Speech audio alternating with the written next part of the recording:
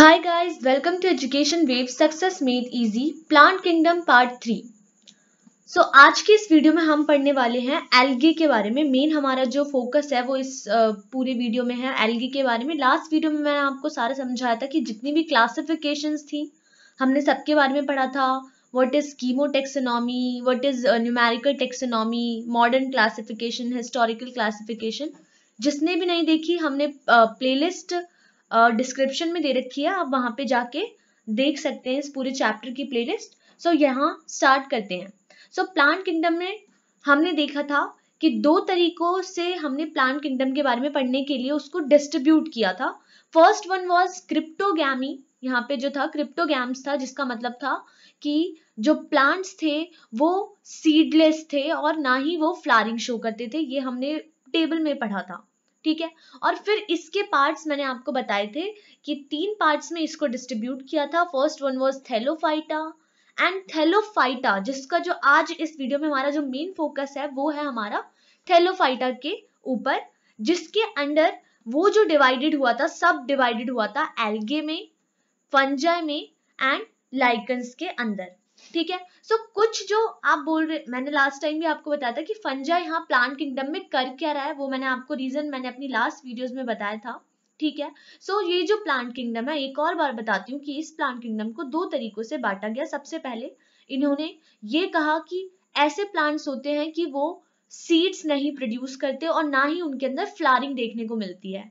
और दूसरा स्पर्मेटोफाइटा इसी का उल्टा कि ऐसे प्लांट्स जिनके अंदर सीड्स देखने को मिलते हैं और वो फ्लारिंग भी शो करते हैं जिन्हें हमने फेनरोगैम्स कहा ठीक है? इन्हें हमने फर्दर डिवाइड किया जिम्नोस्पॉम एंजियोस्पॉम में जिसे एंजियोस्पॉम को भी हमने फर्दर डिवाइड किया मोनोकॉटिलिडेंस और डाइकॉटिलिडेंस लेकिन यहाँ पे हमारा मेन फोकस है एल्गे के ऊपर यहाँ पे ठीक है? सो so, क्रिप्टोगैम्स में हमने थेलोफाइटा देखा ब्रायोफाइटा देखेंगे ब्रायोफाइटा के अंदर वो प्लांट्स आ जाते हैं जिनके अंदर ना ही लीव्स ना ही मतलब कोई पर्टिकुलर प्लांट्स के अंदर आप देख के नहीं बता सकते कि क्योंकि उसकी ना ही रूट्स होती हैं, ना ही स्टेम होता है। कोई पर्टिकुलर उसका जो स्ट्रक्चर होता है किसी प्लांट का, वो वैसा बिल्कुल नहीं होता ब्रायोफाइट्स में ऐसा देखा गया है। बट टेरिडोफाइट में प्लांट्स के अंदर पर्टिकुलर स्टेम लीफ रूट सब देखी गई है। तो अभी बेसिक ये जो था ये मैंने आपको बस ऊपर ऊपर से बताया, लेकिन इसके ऊपर बहुत डिटेल में है, इनके गेमीट्स फॉर्मेशन कैसी होती है, ये कैसे रिप्रोड्यूस करते हैं। तो सबसे पहले हम एल्गे के रिप्रोडक्शन ए सेक्शुअल रिप्रोडक्शन और इसका सेक्शुअल रिप्रोडक्शन इस सब के बारे में हम पढ़ेंगे। So let start with the algae so सबसे पहले इसे थेलोफाइटा ग्रुप के अंदर क्यों रखा गया? थेलोफाइटा का मतलब क्या है, वो मैं आपको बताना चाहूँगी। Now it embraces the most primitive and simple of all plants. Thallo का मतलब होता है एक तरीके से यहाँ पे थैलस इस वर्ड से मिलके बना है थैलस का मतलब होता है नो डिफरेंशिएशन ठीक है? सो नो डिफरेंशिएशन या फिर आप कह सकते हो undifferentiated part of a plant जिसके अंदर ऐसा स्ट्रक्चर जो बिल्कुल थैलस का मतलब मतलब ऐसा कुछ जो बिल्कुल ऐसा हो, कुछ स्ट्रक्चर जो बिल्कुल प्लेन सरफेस सिंपल स्ट्रक्चर किसी प्लांट का बिल्कुल सिंपल स्ट्रक्चर कोई भी प्लांट के अंदर रूट्स की मॉडिफिकेशन नहीं स्टेम की मॉडिफिकेशन नहीं लीव्स की मॉडिफिकेशन नहीं। तो एक तरीके का अनडिफरेंशिएटेड स्ट्रक्चर ठीक है? Now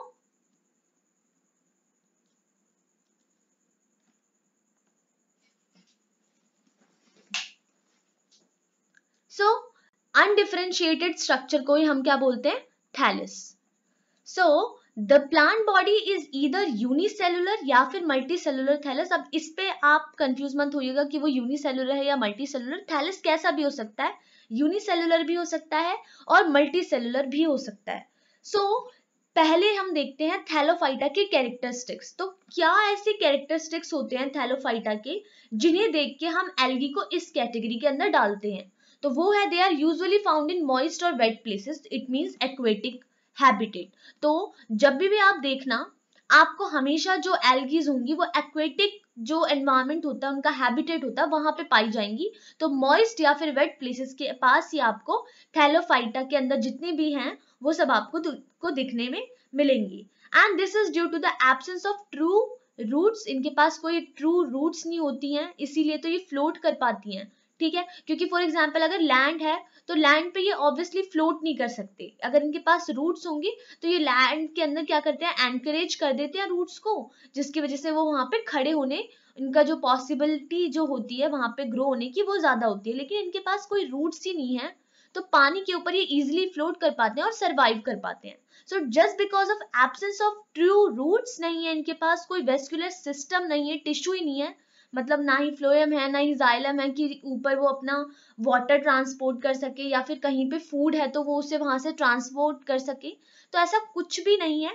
So there is vascular tissue कुछ जो वेस्कुलर टिश्यू है that is needed to transport water this is due to the absence of true roots ना ही ट्रू रूट्स हैं, ना ही वेस्कुलर टिश्यूज हैं, जो कि पानी के ट्रांसपोर्ट को करने में चाहिए होता है। इसीलिए ये पूरे जो भी है प्लांट्स ये हमेशा एक्वेटिक में ही पाए जाते हैं। तो इन्हें अगर कभी किसी चीज़ की नीड होती है पानी से तो वो डायरेक्ट वहाँ से ले लेते हैं, क्योंकि इनके पास कोई ट्रांसपोर्ट का सिस्टम नहीं है इनकी बॉडी के अंदर। Next is and minerals also obviously क्योंकि कैसे ये ट्रांसपोर्ट करेंगे? ये ऑटोट्रॉपिक होते हैं नेचर के अंदर। ये खुद अपना फोटोसिंथेसिस के थ्रू अपना खाना प्रिपेयर करते हैं फ़ूड प्रिपेयर करते हैं। And most members in this group manufacture their own food we all know that and reserve food जो होता है, जब ये खाना बना लेते हैं तो उसको किस फॉर्म में रखना? मतलब अगर आपने खाना खाया है तो वो आपकी बॉडी में किस फॉर्म में स्टोर होता है आपकी बॉडी में किस फॉर्म में, जैसे हमारे जो बॉडी होती है, हम बोलते हैं कि जितना भी हमने खाना खाते हैं हम तो एटीपी वो, उसकी एटीपी बन जाती है और हमारी बॉडी में वो स्टोर हो जाती है। सिमिलरली प्लांट्स के अंदर, जैसे कि थेलोफाइटा के अंदर जितने भी प्लांट्स हैं, वो अपना खाना रिज़र्व फ़ूड जो होता है, वो जनरली स्टार्च के फॉर्म में रखते हैं। ठीक है? तो ये था हमारा थेलोफाइटा का छोटा सा डिस्कशन मैं आपको बताना चाहती थी यहाँ पे, क्योंकि हमारी एनसीआरटी में इतना नहीं दे रखा बट स्टिल मैं यहाँ पे आपको बता रही हूँ। So thallophyta is traditionally divided into चार ग्रुप्स में इसको बांटा गया है। एल्गे जो जिसे हम डिटेल में अभी पढ़ने वाले हैं फंजाई बैक्टीरिया एंड लाइकन्स इन सभी को इन्होंने थैलोफाइटा ग्रुप के अंदर डाल दिया just because of these characteristics ठीक है? तो इन कैरेक्टरिस्टिक्स के प्रेजेंस होने की वजह से इन्होंने इन सभी को इस थैलोफाइटा ग्रुप के अंदर डाल दिया, ठीक है? अब यहाँ पे एक पिक्चर है जो मैं आपको यहाँ पे दिखाना चाहती हूँ। ये हमारी एनसीआरटी में दे रखा है, ठीक है? This is an example of thallophyta जिसकी आप देख सकते हैं कि ना ही इसके पास कोई रूट है, ठीक है? ना ही लीव्स आपको दिख रही है सिंपल स्ट्रक्चर है, बिल्कुल थैलस इसे हम बोलते हैं थैलोफाइटा एक तरीके का एग्ज़ाम्पल है, ये कहा गया है इसे।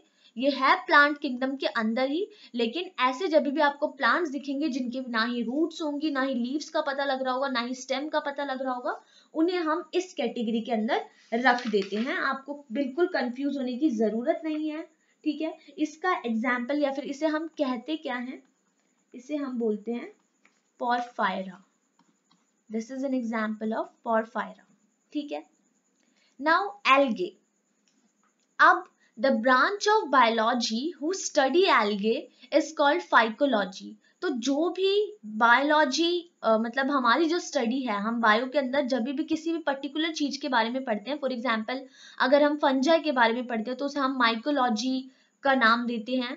एल्गे के बारे में पढ़ते हैं तो हम उसे फाइकोलॉजी का नाम देते हैं। ठीक है? तो ये एक ब्रांच होती है बायोलॉजी की। जब भी आप किसी एल्गी एल्गीज के बारे में अगर आप पढ़ाई कर रहे हैं तो उस ब्रांच, जो, वो जो साइंस की जो ब्रांच है या फिर बायोलॉजी की जो ब्रांच है, उसे हम क्या बोलते हैं? फाइकोलॉजी अब कैरेक्टरिस्टिक्स क्या है एल्गी के? वही होंगे जो मोस्टली मतलब थैलोफाइटा के ग्रुप के अंदर आते हैं बट जो पर्टिकुलर एल्गे के क्या फ़ंक्शन है, वो मैं आपको बताना चाहूँगी। So they are cosmopolitican they are cosmopolitan in nature मतलब कि ये हर जगह पाए जाते हैं पॉन्ड्स में रिवर्स में लेक्स में ओशंस में। जैसा कि मैंने अभी आपको पीछे बताया था कि ये एक तरीके का एक्वेटिक एनवायरमेंट ढूंढते हैं हमेशा। तो जहाँ पे भी इन्हें एक्वेटिक एनवायरमेंट मिलता है, ये वहीं पे ही ग्रो होना स्टार्ट हो जाते हैं।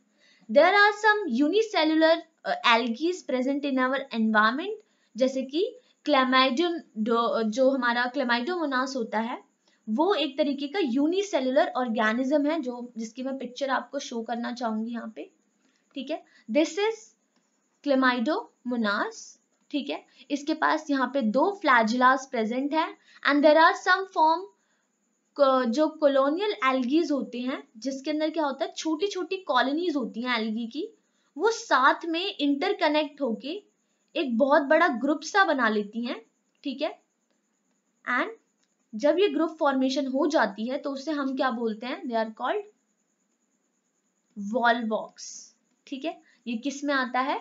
वॉलवॉक्स के अंदर। तो ये है जब भी मैं आपकी इसकी पिक्चर दिखाती हूँ ये रहा। सो so, ये छोटी छोटी कॉलोनीज जो हैं डॉटर कॉलोनीज हो गई ये पेरेंट कॉलोनी है इसी के अंदर डॉटर कॉलोनी भी बनना स्टार्ट हो गई है। ये एग्ज़ाम्पल है हमारा वॉलवॉक्स का। ठीक है?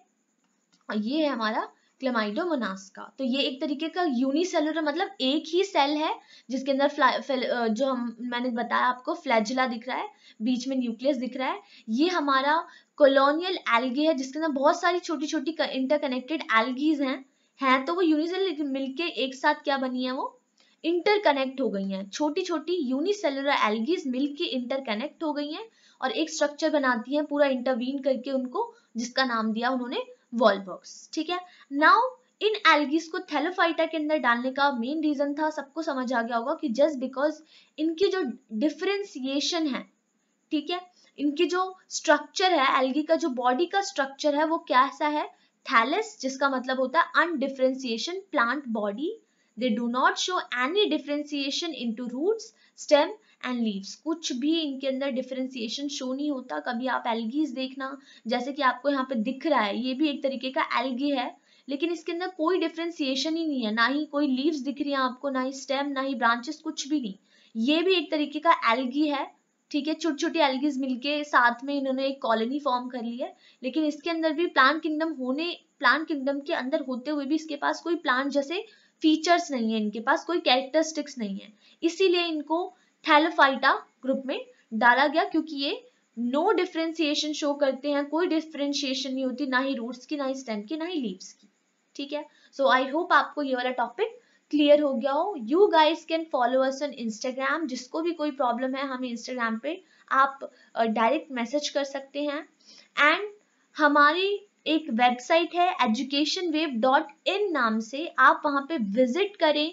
वहाँ पे हमने नोट्स प्रॉपर हर चैप्टर की प्लेलिस्ट आपको वहाँ पे डायरेक्ट मिल जाएगी। So please guys do visit our website Education Wave dot in follow us on Instagram W W dot Education Wave के नाम से हमारा अकाउंट है, वहाँ पे विज़िट करें। And you can follow us on Facebook also Education Wave official के नाम से।